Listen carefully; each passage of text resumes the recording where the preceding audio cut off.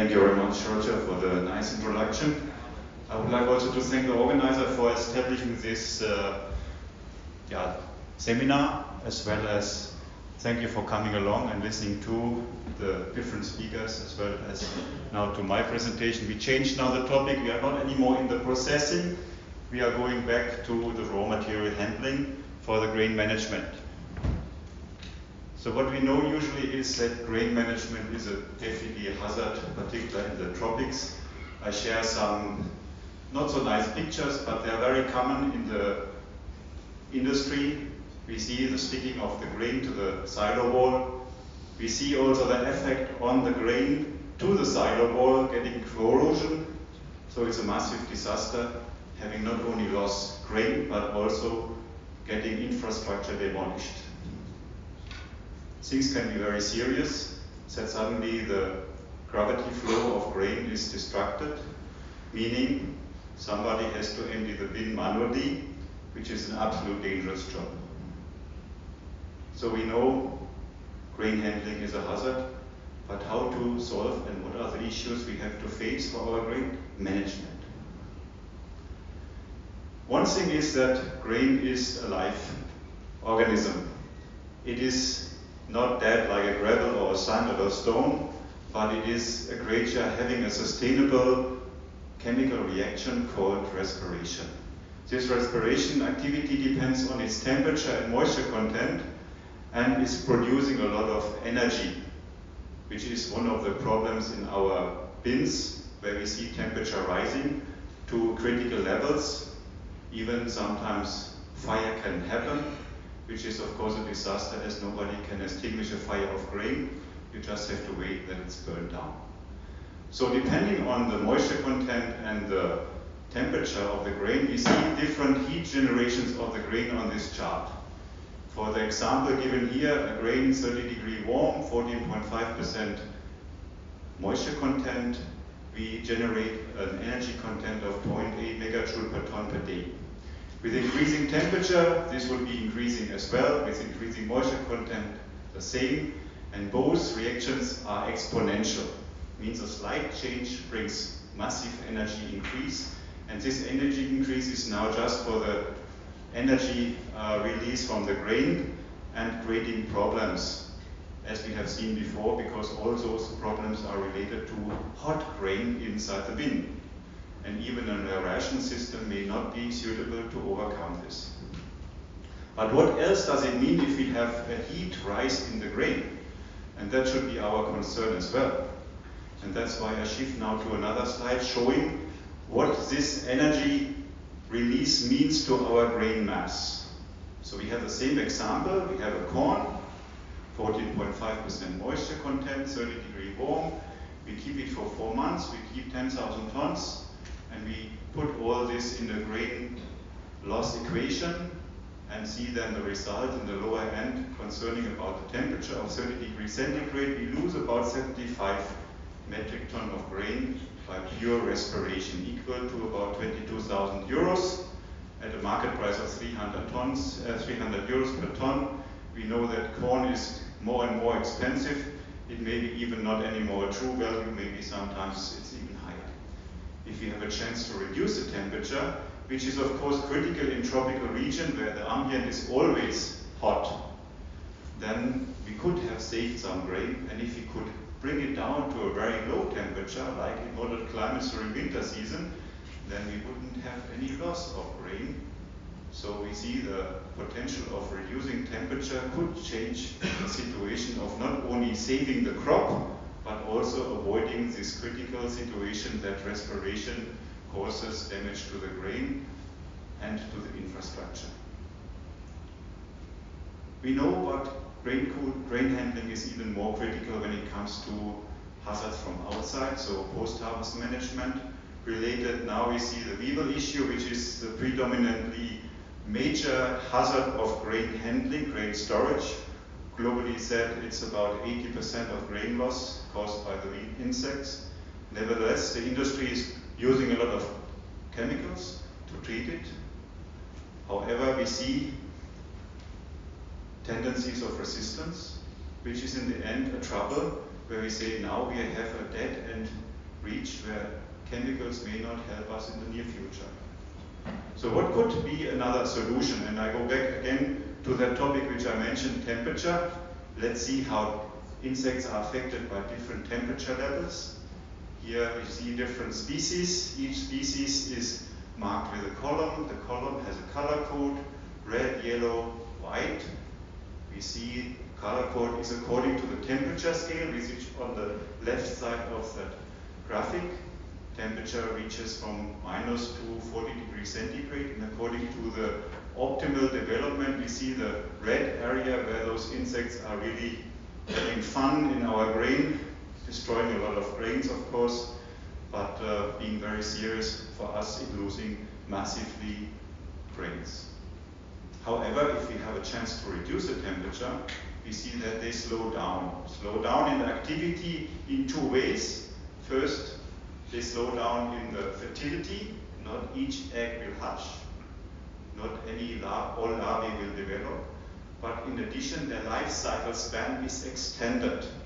Extended massively that they may not close it in 28 days, but they may need three months to complete it if the temperature is very low. And if you come to the wide area, we come to so that a point where suddenly the insects fall into hibernation. Hibernation is so that the stop mode of the insect. I always compare with a light bulb without electricity. The light bulb is still there, but it's not shining. So the weevil is there, but not active. So this would be a good chance to go low to these temperature levels, which is of course easy in winter zones like in Europe, but very difficult in regions like the tropics if I'm not having a technology achieving this. Coming to the third point, what is another hazard in feed milling? Of course, the fungus. Fungus infestation, the mycotoxins, major concern. Chemicals are also used to prevent this by fungus inhibitors or mycotoxin binders, a costly, expensive solution. And I also want to trigger your attention to that particular picture where you see the corrugated sheet of the silo on the outer side. And near to this is a massive infestation. And that is also hardly to ignore because this is mainly a reason why corn is a critical feed resources as it is segregated by filling it into a silo. And that's why we have a massive moisture agglomeration on the site where then the fungus can grow. But again, when we look into how to prevent mycotoxins as well as the fungus, then we can go into a diagram like this, where we see all the different species of the significant fungi developing according to the relative humidity, the temperature, and the moisture content of the grain. Good for all grains being less than 14% moist because they are safe of the fungus. But as we know that we have a moisture span in our, uh, arranged in our grains where we estimate yeah, 14% is average, but it may be plus minus in the total, we still have some grains will be affected by fungus and mycotoxin comes to rise. And therefore, we can consider if we go to lower temperatures, here maybe again in a span of 10 to 20 degree, then we can save a safety belt, open a safety belt to the storage condition, where we see that suddenly a grain which even higher moisture content could be safe from fungus development as the temperature is preventing it. Here I mark it now with a blue area, so you can understand in this area even a moist grain can be saved just by controlling it by low temperatures. So what could be done now if we want to achieve a lower temperature to avoid this respiration issue, the weevil issue, as well as the mycotoxin or fungus issue? And I shift to this sheet where we show our technology which we promote since now yeah, 60 years, a grain cooler which is now applying the right temperature, the right relative humidity to the bulk storage situation and brings the temperature down by just applying temporarily in a batch operation this to the grain and to bring the temperature down. So in this way we can shift the same installation to use it on different silos, batch by batch, bring it down, done, not continuously operated as it is not required since a grain which falls in a low temperature level stops its respiration to a very low level. It has no heat rise from internally and the ambient heat, which is of course present in the tropics, is not an issue since grain is a very poor heat conductor, or opposite said, a good insulator. Means it would need a long time that it comes to increase the temperature by the natural ambient condition of the tropics to warm up again since the grain insulates by low moisture content and low heat conductivity. This technology is applied to many kind of crops, also to high-grade crops like coffee or cacao, which is of course not our topic today, but for the mass crops which are used in feed production, it is a standard operation where grain handling needs to be settled and saved. And accordingly, it shows you the advantages which have been mentioned by just controlling the temperature level to a very low region. So riskless long-term storage, minimizing respiration losses, and also preventing issues like condensed water rise inside. Saving infrastructure by avoiding corrosive atmospheres inside, then avoiding expensive and risky chemical treatments for insects, since a hibernating insect is not an issue, and when we get it milled later in the mill, it is killed.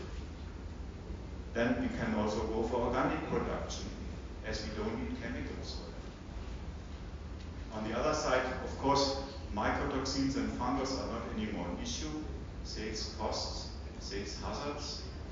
And when we look into the simplification of the storage management, avoiding those standard treatments, aeration, circulation, fumigation, by just a simple treatment in the beginning of the storage time, we can understand that storage manager feel relieved by all that to ease to a very simple standard application, just make it cold and you are done.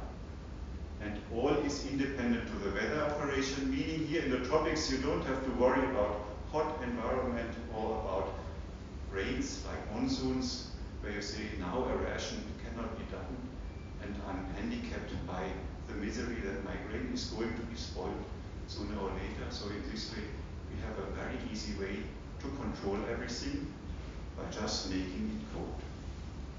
Thank you very much for your attention.